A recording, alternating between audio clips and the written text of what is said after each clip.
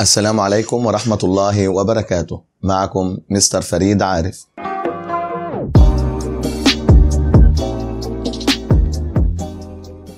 إن شاء الله في الفيديو ده هنتعلم how to teach grammar. إزاي ندرس قواعد اللغة الإنجليزية. وبالتالي الفيديو هيكون موجه للمعلم مش للطالب أو لطالب جامعي بيدرس مادة methodology اللي هي طرق تدريس. ولو حضرتك مدرس لغة إنجليزية واتعمل لك interview ممكن تتساءل في حاجة زي دي. طبعا في فيديو سابق أنا عرفت كلمة grammar وإن كان التعريف simple definition يعني تعريف بسيط. إنما اللي بيدرس ال grammar بتعمق بيعرف إن في 3 different schools ثلاث مدارس مختلفة كل مدرسة تناولت تعريف ال grammar بشكل مختلف. وفي نفس الفيديو عرفت لك أهمية ال grammar وقلت لك إن ال grammar هو sub skill مهارة فرعية ولكن بتأثر على مهارات اللغة الإنجليزية الأساسية. يعني بدون الجرامر لا هتعرف تتكلم ولا تكتب إنجليزي بشكل صحيح. أما في الفيديو ده هنتعلم how to teach grammar إزاي ندرس الجرامر وإحنا عندنا طريقتين لتدريس الجرامر طريقة اسمها inductive method يعني طريقة استقرائية وطريقة اسمها deductive method يعني طريقة استنباطية أو استنتاجية وإن كنت لا أميل لترجمتهم باللغة العربية. طبعا كل طريقة لها advantages و disadvantages يعني مزايا وعيوب. نبدأ الأول بالinductive method. First we give students examples that illustrate the role. Then we explain the role. Finally we give them exercises. يعني بالطريقة دي المدرس بيكتب الأمثلة الأول على السبورة وبعدين يساعد الطالب في استخراج القاعدة وبعدين المدرس يدي أمثلة أكتر وآخر خطوة يعملها يدي لهم تمرينات. يعني لو أنا عايز أشرح الفرق بين ال homographs وال homophones وال homonyms أنا مش هاجي أقول لك ال homographs معناها كذا لا ده أنا هكتب لك الأمثلة الأول على السبورة اللي هتساعدك تستخرج القاعدة. فالشاشة اللي قدام حضراتكم هتتحول لسبورة عليها الأمثلة هنستخرج منها القاعدة. طبعا لو بصيت هنا على ال homographs هلاقي ال example live تستخدم كفعل بمعنى يعيش و live مباشر أي تحدث في نفس الوقت. يعني لو بتفرج على مباراة كرة قدم في وقت اللعب بتفرج عليها live كمثل كلمة minute دقيقة و minute اللي هو صغير جدا أو very small طبعا الكلمات ديت لو جينا نبص على ال sound هنلاقيه مختلف فمعمول تحتها علامة خطأ. لو بصيت على ال spelling هلاقيها نفس ال spelling فمعمول تحت ال spelling علامة صح. أما ال meaning المعنى فالمعنى مختلف فمعمول تحتها علامة خطأ. وبكده هستنتج إن ال homographs هي الكلمات اللي لها نفس ال spelling ولكن مختلفة في ال meaning في المعنى والصوت. يبقى Homographs are words that have the same spelling but different in meaning and sound. وهرجع تاني للشاشة عشان نشوف ال homophones. لو بصيت على ال homophones هلاقي في ال examples son ابن و sun شمس. وعندي night ليل و knight فارس. طبعا بالنسبة لل sound فهم نفس الصوت فمعمول تحتها علامة صح.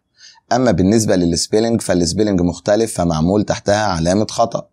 أما بالنسبة للمعنى فالمعنى مختلف فمعمول تحت ال meaning علامة خطأ.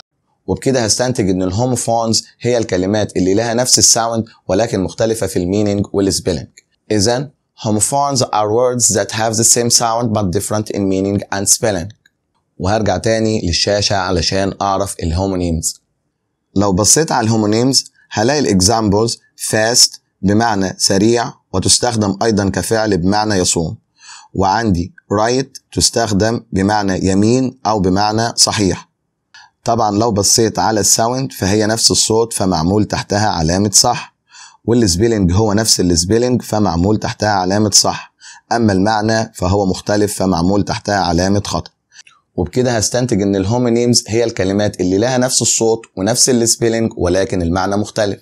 إذا homonyms are words that have the same spelling and sound but different in meaning.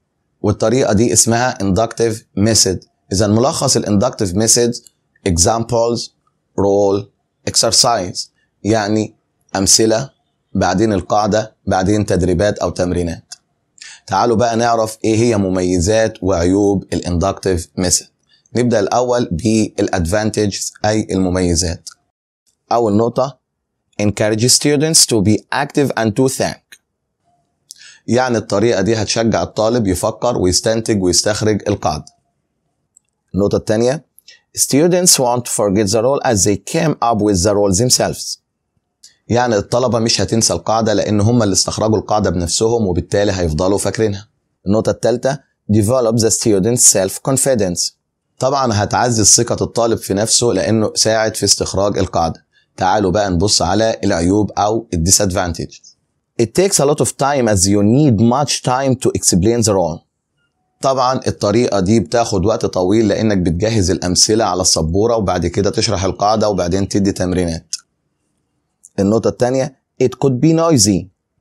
يعني ممكن الطريقة دي تسبب بعض الضوضاء لأن الطلبة هتشارك في استخراج القاعدة وممكن تلاقي الطالب بيتكلم غير لما تكون أنت بتشرح فهم بيستمعوا. إنما دلوقتي الطالب هيشترك في القاعدة وهيرفع إيده ويتكلم فممكن تسبب قليل من الضوضاء النقطة الثالثه it's good for young learners يعني الطريقة ديت بتكون كويسة مع الطلاب الصغيرين في السن تعالوا بقى نبص على الطريقة الثانية اللي هي deductive method First we start with giving the students the role. Then we have to give them examples to clarify the role. Then the students use the role and apply it to examples. Finally, we give them exercises. بالطريقة دي المدرس الأول بيشرح القاعدة وبعدين بيدي أمثلة وبعدين الطلبة لما بيفهموا القاعدة بيبتدوا يطبقوها ويدوا هم أمثلة وبعدين ندي لهم exercises أو تمرينات. قاعدة زي قاعدة there. There is is followed by a singular noun. There are is followed by a plural noun. يبقى there is بيجي وراها اسم مفرد there are بيجي وراها اسم جمع بعدين خد أمثلة there is one student absent there are two students absent إذا ملخص الطريقة دي the rule examples exercises يعني القاعدة ثم أمثلة ثم تمرينات تعالوا نبص على ال advantage وال disadvantage بتاع طريقة ال deductive method بالنسبة للادفانتج the students come up with the role faster without wasting time يعني مش هتضيع وقت الحصة لأنك هتبدأ في الشرح على طول والطلبة هتكون بتستمع وبالتالي بتحصل على القاعدة بشكل أسرع. Respect the intelligence of adult learners. يعني الطريقة دي مفيدة للطلبة اللي هم كبار في السن. وكمان نقدر نقول it takes a short time بتستغرق وقت قليل. تعال نبص بقى على disadvantages أو العيوب. The students don't think they depend on the teacher. طبعا الطالب هنا بيكون سلبي لأن هو بيعتمد على المدرس هو قاعد مستمع للمدرس وبكده عرفنا الفرق بين ال inductive method وال deductive method وتقدر تدرس بأي من الطريقتين كل طريقة لها مميزاتها وعيوبها حسب عمر الطالب حسب وقت الحصة فبتختار الطريقة اللي انت هتدرس بيها. لكن سواء هتدرس بال inductive method أو بال deductive method لازم توصل للطالب حاجتين. أول حاجة the form of the structure. تاني حاجة the meaning of the structure.